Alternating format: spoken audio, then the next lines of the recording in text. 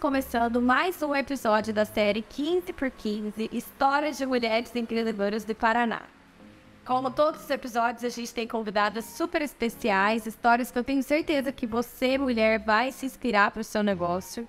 Mas antes, eu quero te convidar a se inscrever na comunidade Mulheres Empreendedoras. Aproveita que o link está aqui na descrição do vídeo.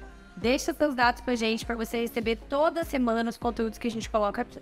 São podcasts, vídeos, posts, e-books, muitas coisas que podem te ajudar nessa jornada tão árdua que é empreender, mas que ela pode se tornar mais leve contando com o apoio de nós, parceiros Sebrae.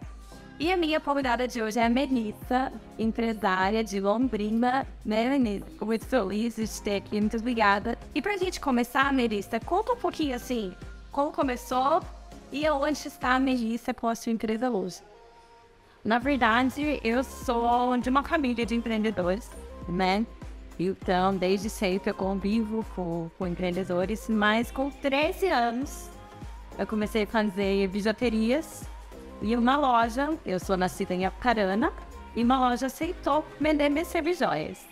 Então lá atrás começou meu empreendedorismo, né? Vendendo as minhas serviçóias numa loja lá de Apucarana. Então, e desde então lá eu já trabalhava como office girl, né? Na, na, na empresa do meu pai e, e, e fui convivendo. E nisso eu me casei, meu marido também é de Apucarana, mas já morava em Londrina.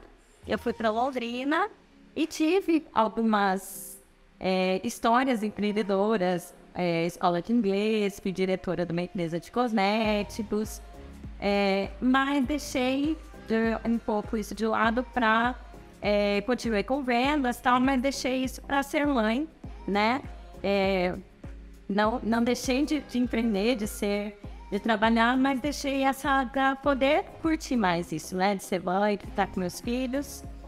Mas na pandemia, o empreendedorismo me pegou de novo.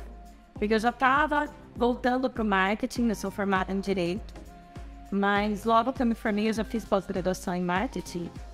E sempre gostei muito do marketing. E, e daí fui indo já para o marketing digital. E na pandemia, o marketing digital me pegou de vez. Eu comecei com social media. Eu vim lendo a importância da educação digital de como as pessoas não tinham, não tinham educação digital. O Zico estava muito carente disso e que as mulheres, principalmente, estavam precisando disso, né? E para saber, tanto para gerir suas redes sociais, porque elas aprenderem, para entender sua rede social. Então, assim, para começar uma rede social até seu primeiro post, emocionante ver, né? Para aprender a fazer um reel, um story e até seja para elas contratarem, porque às vezes, mesmo quando eu era social media, ainda faço alguns trabalhos social media, mas não é o meu foco hoje, né? É, eu vejo que às vezes elas iam contratar e não sabiam o que, o que queriam, o que pedir, né? Então, com essa educação digital mudou, né? A perspectiva dessas mulheres, delas saberem, tanto para fazerem por si próprias, quanto para contratar um livro fazer para elas, né? E também na pandemia nasceu o GPS Plenamente, que é essa rede de mulheres civil. É, é, GPS é a sigla de Guiadas para o Sucesso. Então, essa rede de mulheres que querem crescer, crescer pessoalmente e profissionalmente. O GPS é baseado em cinco pilares, que é saúde na balada, prosperidade financeira, inteligência emocional relacionamentos poderosos e espiritualidade. A partir desses cinco pilares, a gente faz reuniões online. Na pandemia era só online, né? Agora que acabou a pandemia, a gente tem os presenciais também. E com o projeto Alho do Sebrae, a gente também, Goiânia apoia, a consultora lá de Londrina, né? A gente também foi para o Sebrae Tech, que financiou junto, né? subsidiou, né? O nosso portal, que está hoje no lar. E lá tem a página de todas as mulheres, tem o blog, pelo nosso público de consumo. Então, hoje a gente é, vive muito com essa rede de mulheres empreendedoras que, que crescem. E a gente vê tantos cases, né? E quando a gente se une, é, que as coisas prosperam de um jeito diferente, né? E, e a gente não, não, tem que ser concorrente, a gente tem que se ajudar. Isso a gente fala muito, é, até vieram perguntar esses dias pra gente, né?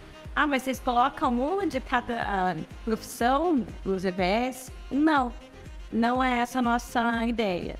Porque as mulheres, cada uma tem o seu DNA, né? Cada uma tem. Então, não importa se você vem de semi-joias e eu também, você tem as peças que você tem, você tem a sua forma de vender, a sua forma de atender, eu tenho a minha. A gente pode se ajudar. Um dia de você não pode atender o seu cliente, você eu atendo. Então, essa é a nossa ideia o GBS, ser realmente uma rede que se completa, que se entende, mulheres que ajudam, se apoiam, que crescem juntas. Legal.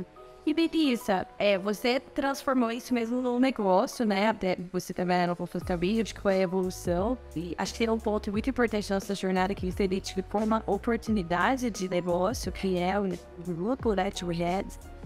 Nessa sua caminhada, quais foram as principais, uma ou duas dificuldades de forma bem objetiva, assim, que você encontrou? Eu acho que o meu muito preconceito, né? Ai, será que uma mulher dá conta?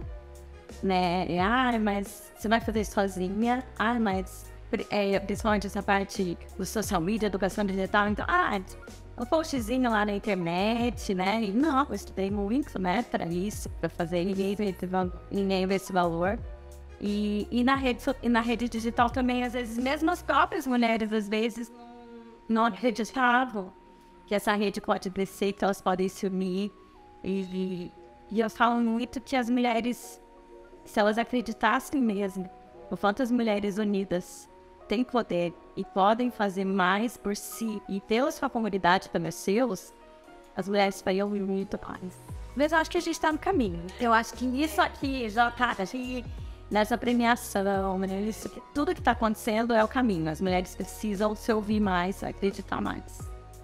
E e a última pergunta que eu queria fazer para você, Melissa, é assim: o que, que você. Você tem uma jornada de sucesso, né? Tanto que você está aqui hoje, porque você é uma das 15 empreendedoras do Paraná que estão no, no Prêmio Melhor de Negócios. Ao que, que você atribui o sucesso da sua empresa, né? Da, da Melissa empresária. Eu sei que tem a Melissa mãe, a Melissa esposa e todas as facetas que nós mulheres assumimos, mas no quesito do seu negócio, ao que, que você atribui o sucesso? é não desistir. É acreditar que eu posso chegar lá naquilo que eu quero mesmo e não desistir. Não ficar ouvindo essas, né? Porque às vezes a gente é, ouve essas coisas que não são a realidade, né? Não dá ouvido para isso, né? Acreditar mais. Eu tenho uma frase é, que eu falo muito assim: vamos parar de apontar mais o dedo e dar mais as mãos. Então, quando a gente dá mais a mão, quando a gente acredita na gente e nos outros, as coisas vão mais para frente. Então, vamos acreditar mais na gente. Então, eu comecei acreditando em mim. Daí, estou acreditando em outras mulheres. Então, acho que com isso a gente tem como crescer e se desenvolver muito mais fico muito feliz. Eu fico muito feliz de ter um modelo de negócio como o seu no prêmio, viu, Isso é muito legal, porque a gente sempre pensa na formatação tradicional, né, dos negócios, uma loja, uma pequena indústria, e eu acho que, assim, esse serviço, né, que você presta, e, na verdade, é, você tá muito mais como um hub, né, de possibilitar que mulheres ali estejam juntas, proporcionar esse conhecimento. Melissa, muito obrigada. Fico feliz de ser seu parceiro no Thunder Rosso. A gente está sempre aqui, o que você precisar. E muito sucesso!